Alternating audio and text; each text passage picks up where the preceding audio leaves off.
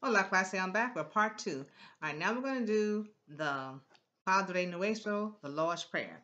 I know you know it. I know you're ready. Okay, let's start with the first one, the yellow and the gray sections. Okay, let's go. Yellow, clase repita. First of all, clase repita. El Padre Nuestro. Okay, Mateo 6, capítulo 6, versos 9 hasta 13. El Padre Nuestro. Repita, clase. Padre Nuestro que estás en el cielo Mm-hmm. Our Father which art in heaven, say that again. Padre nuestro que estás en el cielo. Hallowed be thy name. Santificado sea tu nombre.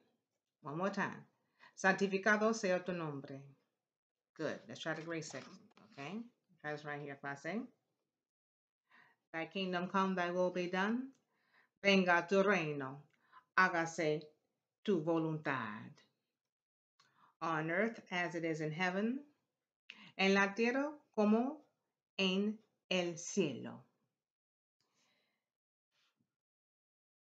Give us this day our daily bread. Danos hoy nuestro pan cotidiano.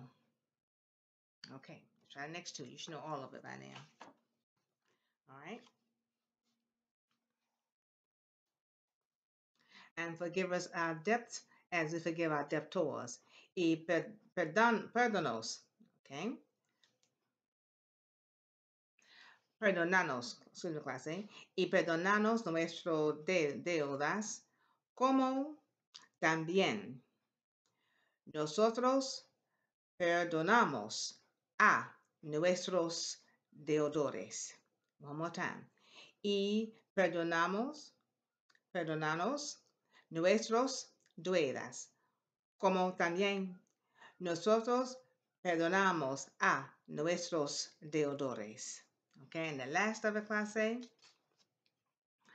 And lead us not into temptation, and deliver us from evil.